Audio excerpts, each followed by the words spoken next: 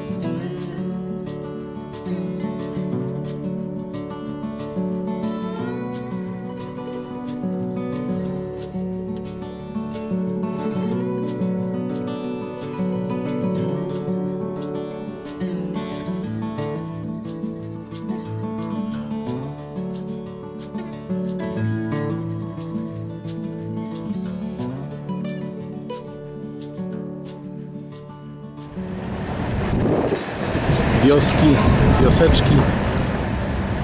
To akurat jest troszkę większe miasteczko, ale trafiają się i małe miasteczka, które jednocześnie są sułtanatami.